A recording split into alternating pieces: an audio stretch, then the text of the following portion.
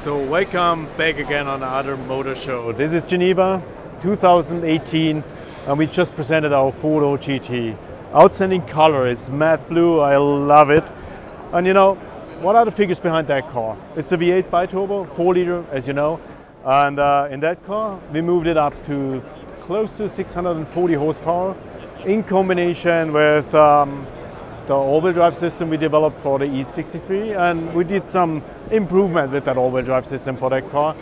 And uh, we have a dedicated rear axle in the V8. In the V8 version, we do have a rear axle steering as a standard.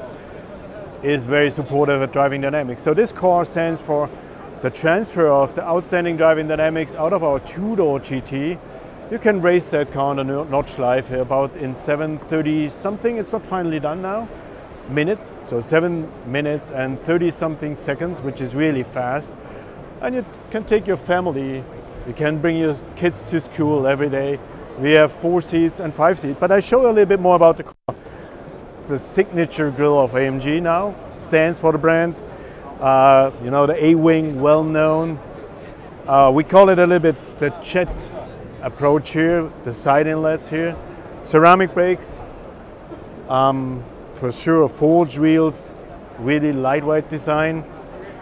Um, you know, see the sculpture of that car. It's very close to our concept GT we showed here in Geneva last year.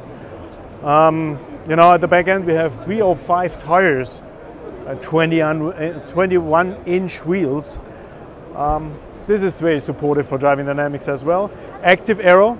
Yeah, we do have a, a rear wing which have five different positions depending on the driving situations. Uh, diffuser approach here at the rear end and very important, a big trunk because I promise you, you can carry your family and all your luggage with that car with you whenever you need it. But when you come back from the holidays and you would like to hit a track, do so. It's really fast here. So let's have a close look to the interior as well.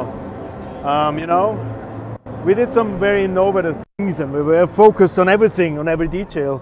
We have display touch buttons here in the car, which looks really different and really sophisticated in comparison with every, everything else what we did so far.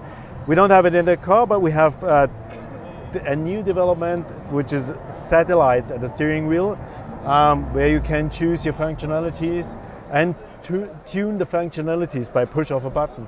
In the rear end, in the second row here, we have enough headspace even for big guys. I'm not that big, but for bigger guys than me. And uh, you know, this is the exclusive version. You have, uh, which is very important for that, cup holders where you can heat and cool uh, the beverages. We have a display, a touch display here, where the passengers can follow the performance of the engine or can tune everything in the radio. But you can switch it off if your kids are in the back and they would like to give you some headache. But even it's a great car. It's a very bright interior, very exclusive, but we have different versions. We have a race versions. Everything is black with yellow stitching, well known out of the C63. But you know, uh, stay tuned. Um, we we will be back soon and uh, wait for the first resumes and reviews of the driving dynamics of that car. Thank you very much.